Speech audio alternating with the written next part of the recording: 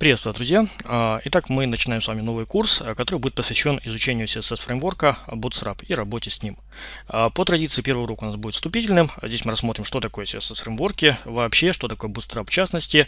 Мы рассмотрим структуру нашего курса, инструментарий и знания, которые нам потребуются для прохождения данного курса.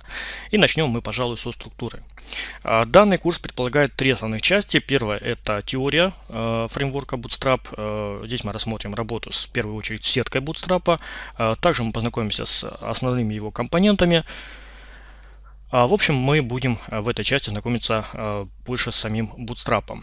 Вторая часть у нас уже будет более практической. И здесь мы возьмем какой-нибудь макет PSD, то есть шаблон Photoshop, и, соответственно, из него мы попытаемся сверстать уже HTML шаблон, то есть получить готовую верстку, готовую для работы дальше с программной частью, с программированием ее под какой-то движок. Ну и третья часть уже будет тоже практической. И здесь мы вот эту вот полученную верстку попытаемся посадить на какой-нибудь движок, в качестве которого мы выберем с вами WordPress. То есть, проще говоря, мы из HTML шаблона попытаемся создать тему для WordPress. А, таким образом, в данном курсе вы фактически получаете два в одном, а, то есть вы не только изучите здесь Bootstrap 4, а, но еще и получите основы работы с WordPress и создание тем для WordPress. А, это что касается структуры э, данного курса. А, что касается инструментария, что нам потребуется для а, работы с данным курсом? Ну, прежде всего, нам потребуется, конечно же, редактор для написания кода. Это может быть любой редактор, это может быть среда разработки, например, это может быть WebStorm, это может быть Visual Studio, но также это может быть и что-то попроще, например, какой-нибудь, как я их называю, блокнот программиста. Это может быть Sublime текст, который я буду использовать в данном курсе. А, это может быть э, brackets, э, это может быть даже Notepad++. По сути, это может быть даже блокнот э, стандартный Windows, если вам, конечно же, в нем по каким-то причинам удобно работать. А, в общем, здесь никаких ограничений нет. А в чем вам удобнее писать код, в том и пишите его. Что касается, да, инструментарий, также нам потребуется какой-нибудь любой современный браузер. Я рекомендую Firefox, либо Chrome, но это может быть и любой другой. А, ну и, собственно, это все. А, ничего большего нам, по сути, не потребуется, то, то есть только редактор для написания кода и только какой-нибудь современный браузер. А, что касается знаний, курс рассчитан в первую очередь на новичков, на начинающих, либо же на верстальщиков, на верстальщиков которые не знакомы пока еще с Bootstrap и хотят это сделать. А вот для них в первую очередь и предназначен данный курс. А, поскольку курс рассчитан на начинающих, никаких особых знаний вам а, для него не потребуется. Все, что вам потребуется, это лишь знать основы верстки. Под основами верстки я подразумеваю основы HTML, основы CSS и основы JavaScript или jQuery. А, этого будет более чем достаточно. А, поскольку Bootstrap рассчитан в первую очередь на, а, для упрощения верстки, по сути вы даже можете не являться профессиональным верстальщиком. По сути вы можете быть достаточно посредственным, либо вообще начинающим верстальщиком, который с трудом верстает макеты, и Bootstrap поможет вам это сделать быстрее, проще и удобнее. А, по сути, используя Bootstrap, вы можете на порядок быстрее создавать верстку. А, при этом эта верстка будет ровной, красивой а, и кросс-браузерной. То есть она будет одинаково хорошо выглядеть в любых современных браузерах. И, ко всему прочему, она еще и будет адаптивной. То есть она будет замечательно смотреться как на десктопах, так и на мобильных устройствах, планшетах и смартфонах. А, это что касается а, знаний. Ну и давайте пару слов о том, а, скажем, что же такое CSS фреймворки и что такое Bootstrap. В статье в Википедии CSS Framework вы можете найти определение того, что же такое CSS Framework. Ну, здесь оно немножко странное. CSS Framework – это фреймворк, созданный для упрощения работы верстальщика. А что такое фреймворк? Это по сути, это некий каркас. И вот таковым каркасом в любом CSS-фреймворке можно считать его сетку. Именно сетка это то, что в первую очередь нас интересует в любом CSS-фреймворке и в том числе в Bootstrap. Именно благодаря сетке мы и можем верстать э, красивые, аккуратные странички. верстать их быстро и именно сетку очень много, очень часто берут профессиональные верстальщики из Bootstrap себе. То есть только сетку, никаких других компонентов они просто-напросто иногда не берут. А, то есть основа, вот такой вот каркас любого CSS фреймворка, это сетка. Все прочие компоненты Bootstrap, как то какие-нибудь кнопки, таблицы, формы, модальные окна, карусели и так далее, это все уже второстепенное. А, мы его можем использовать, можем не использовать, но основа Bootstrap, его каркас, это именно сетка. А, так вот, CSS Framework э, это э, фреймворк, судя из определения, создан для упрощения работы верстальщика, о чем я вам уже и говорил. То есть вы можете быть, не быть вообще профессиональным верстальщиком. Например, я э, основная сфера моей работы это все же бэкэнд, э, верстка это постольку поскольку, то есть я не являюсь профессиональным верстальщиком, но э, Bootstrap мне позволяет восполнить этот пробел. То есть благодаря Bootstrap, Bootstrap я легко могу сверстать макет сайта, который будет одинаково хорошо смотреться в любом современном браузере и при этом будет адаптивным уже э, изначально.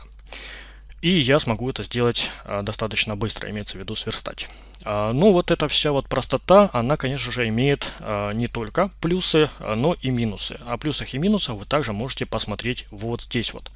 Ну, плюсы я вам уже назвал, это и кросс-браузерность, это и быстрота разработки, э, это и простота разработки, да, то есть даже не э, профессиональный верстальщик сможет создавать э, очень быстро макет. А, ну и есть, конечно же, минусы. Э, минусы заключаются в том, ну они весьма условны на самом деле, но э, тем не менее. Минусы заключаются в том, что вам придется подключать несколько дополнительных файлов. В случае с Bootstrap, например, вам придется подключать CSS файл данного фреймворка, данной библиотеки. Вам придется подключать JS его файл, если вы хотите пользоваться всем его великолепием.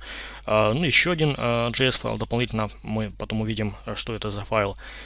А, ну и вам потребуется библиотека jQuery, а также, а, чтобы Bootstrap мог работать. Ну, библиотека jQuery используется сплошь и рядом, хотя я в последнее время встречаю мнение о том, что jQuery можно уже не использовать, и зачем его использовать и так далее, чуть ли он не устарел уже uh, эта библиотека, но на самом деле это мое личное мнение, это далеко не так. Опять-таки Bootstrap без jQuery не работает. Uh, опять-таки масса галерей, масса слайдеров без jQuery не работает.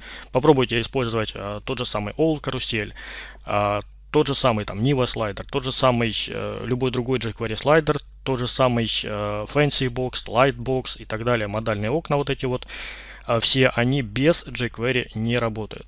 А, jQuery изначально встроен во множество CMS, во множество PHP фреймворков, а, поэтому заявлять то, что jQuery это уже библиотека устаревшая, ее использовать не нужно. И э, вообще зачем писать код на jQuery, если можно написать его на нативном JavaScript. Э, это все какие-то такие немножко максималистские рассуждения. На самом деле jQuery актуален, был, есть, ну еще и, наверное, будет э, достаточно долго. А, поэтому, возвращаясь к недостаткам. Недостатком является то, что, условным, как я сказал, недостатком является то, что а, все же придется подключать дополнительные файлы а, для работы с Bootstrap. Ну, от этого никуда не деться. Следующий недостаток здесь тоже весьма условный. Дизайн будет зависеть от CSS-библиотеки, сказано, но на самом деле Дизайн Bootstrap легко кастомизируется, этого можете, мы тоже с вами увидим. А, то есть э, в итоге, допустим, мы с вами сверстаем шаблон, э, который ну, весьма отдаленно будет напоминать э, стартовый шаблон Bootstrap. Вот. А, ну и, в принципе, это, пожалуй, все недостатки, которые можно здесь а, назвать. А, что касается других CSS-фреймворков, на самом деле Bootstrap не единственный здесь, их достаточно много, здесь вот небольшой список, их представлен. А, статья немножко уже устарела, ну, например, вот 960 Grid System это э, библиотека для быстрой разработки макетов, она уже достаточно э, древняя и, наверное, уже не используется. Ну, по сути, сейчас два основных фреймворка, э, которые можно использовать, CSS фреймворка, наиболее популярный имеется в виду, это Bootstrap и это Foundation. Но Bootstrap это CSS фреймворк, который на сегодняшний день является по сути номером один. То есть это наиболее популярный CSS фреймворк, который встроен во многие CMS, PHP э, фреймворки. ну, используется он как бы часто по умолчанию во многих решениях. А, вот. А, что касается Bootstrap, а, мы с вами будем на сегодняшний день использовать версию актуальную. Эта версия сегодня актуальна на момент записи курса 4.2.1. Вот ее мы с вами и будем использовать. А если на момент просмотра курса выйдет какая-нибудь другая версия, например 4.3 там и так далее, это не значит, что курс устарел. На самом деле, ну вот еще в сейчас вот начало января в конце декабря 20 числа, по-моему, вышла версия 4.2.1, до этого была актуальна версия 4.1.3. Вот это вот. Э, по сути, что появилось 4.2.1, это просто появилось, появились несколько новых компонентов и все. Никаких э, новшеств, никаких изменений в основном каркасе Bootstrap, то есть в его сетке, э, не произошло. То же самое будет касаться и всех прочих версий, четвертых до пятой, если таковая будет. Э, то есть выйдет там 4.3, 4.4 там и так далее. А все, что будет рассмотрено в данном курсе, оно будет актуально и для всех прочих версий до 5. Да? То есть э, этот момент э, учитывайте. А что касается Bootstrap 3. Bootstrap 3 также является актуальным, и актуальным решением, если вы верстали на нем, то вам будет достаточно просто перейти и на Bootstrap 4. А, поскольку, а, опять-таки, сетка осталась, а, классы сетки остались во многом э, теми же, есть некоторые изменения в сетке Bootstrap 4, мы их с вами рассмотрим, конечно же. Но если вы работали с третьим Bootstrap, то перейти на четвертый вам будет очень и очень просто. Это будет большой громадный плюс.